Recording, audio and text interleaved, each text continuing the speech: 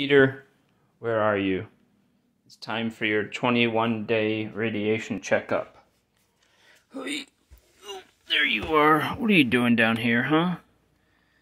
Turn this little majigger on, put it right here. There we go.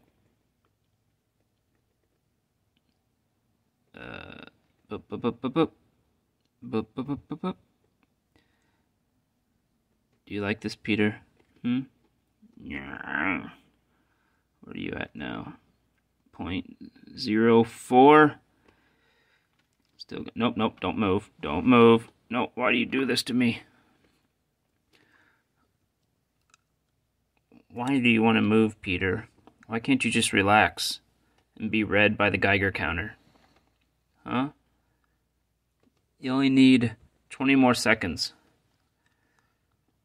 Yes, there you go. Very cute. Putting your head over it. How am I going to read it now? There you go. 10 more seconds. Just take 10 more seconds. 10 more seconds! No! Why? And there we go. Uh, so we got point one five one MR per an hour. So Still in the high range, but not in the unhealthy range per se.